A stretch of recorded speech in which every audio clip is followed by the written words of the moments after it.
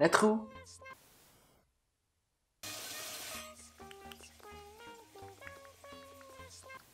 Mais qu'est-ce qu'il...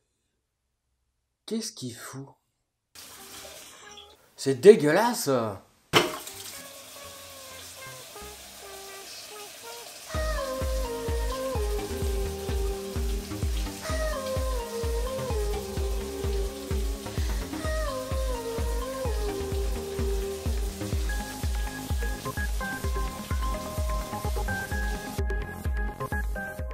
commence à vous connaître et certains d'entre vous m'ont dit quand est-ce que tu nous parles de d'hentai ou de trucs Aichi ou de trucs un peu plus poussés, un peu plus pour adultes. Quand je dis pour adultes, c'est vraiment dans la catégorie euh, pour adultes en fait avec euh, vraiment du cul en fait. Vous êtes, euh, vous êtes vraiment bizarre. hein.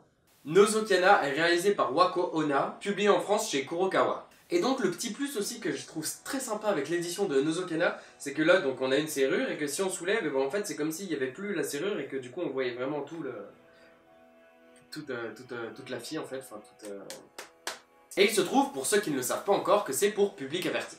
Donc voilà, bah, vous êtes avertis. Je vous mets un, petit panneau hein, qui clignote parce que voilà, vous êtes avertis, vous n'avez pas le droit si vous avez moins de 16 ans. moi j'ai prévenu, c'est à vos risques, c'est péril. hein. Bon, pour ceux qui ont donc moins de 16 ans, bah, je vais attendre que vous partiez là tous de, de la vidéo. J'attends, j'attends. Je ne commencerai pas tant que vous ne serez pas partis.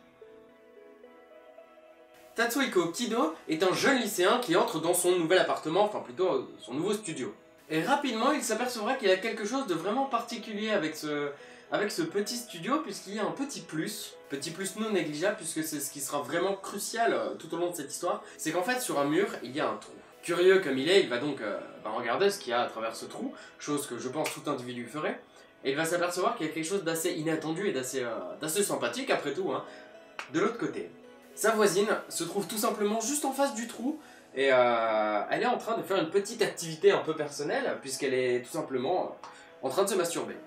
Et bien évidemment, il va donc euh, bah, décider d'aller la voir hein, pour, euh, pour lui dire qu'il y a un trou et que bah, il a peut-être surpris un, petit truc sans le vouloir, hein, bien évidemment, sans le vouloir. Et donc il va vouloir l'avertir de façon à ce que ça ne se reproduise pas et boucher le trou et tout ça, mais bien évidemment, on rebouchera pas le trou. Et c'est là que le jeu va commencer.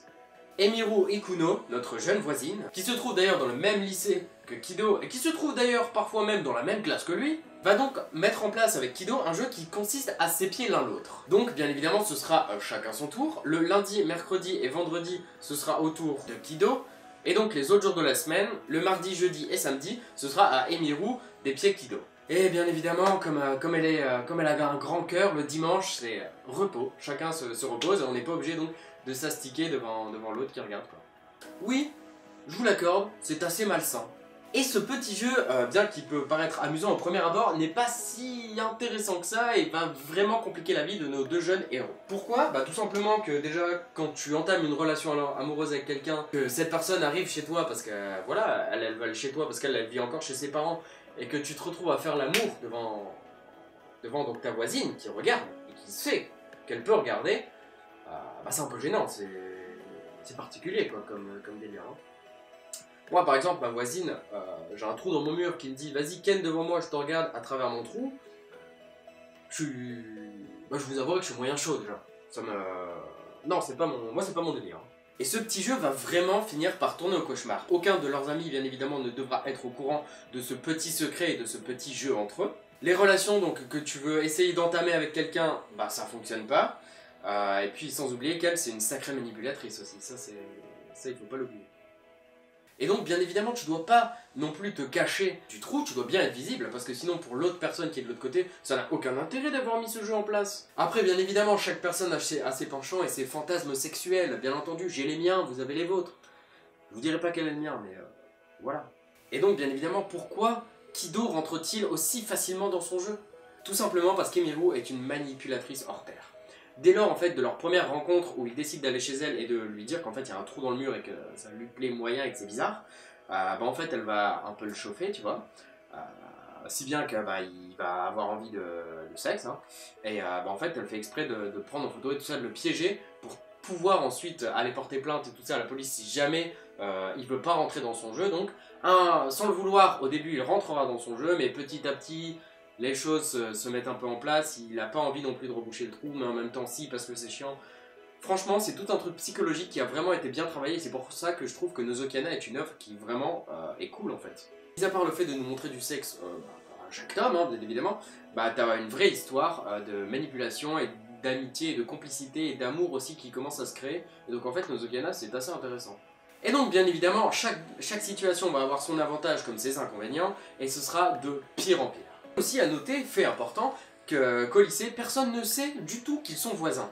Donc ils sont tous chez Kido, ces potes-là veulent inviter Emiru, elle fait quoi? Elle, sort de chez elle et tac, elle toque direct? Non.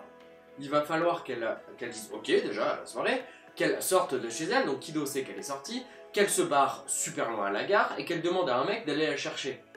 Pour qu'ensuite ils reviennent au point de départ. En gros, c'est super compliqué leur, leur bordel. Autant tout avouer, peut-être, non? Il y a donc une réelle histoire euh, derrière tout ça qui a été écrite en 13 volumes. Et euh, 13 volumes. 13, le chiffre 13. Est-ce que ça leur portera malheur ou bonheur selon vous?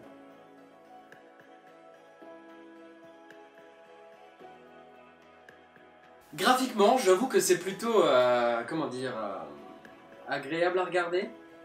On sent bien que Wako Ona a vraiment quelques préférences hein, dans ce qu'il a envie de dessiner et dans ce qu'il aime vraiment dessiner. Obsédé, va.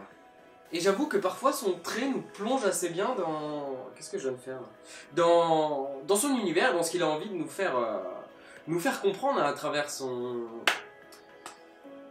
Enfin bref, c'est bien fait, c'est bien dessiné, quoi. C'est assez réaliste et tout ça, c'est... Enfin, euh, vous avez compris. Après, c'est mon avis, hein. chacun, chacun est libre d'aimer ou pas, mais moi, j'ai bien aimé, ça. Et pour des raisons évidentes, je ne pourrais pas vous montrer, euh, bien évidemment, les fameuses pages qui, euh, qui sont euh, bien dessinées, puisque bah, sinon euh, elle va être dégagée ma vidéo.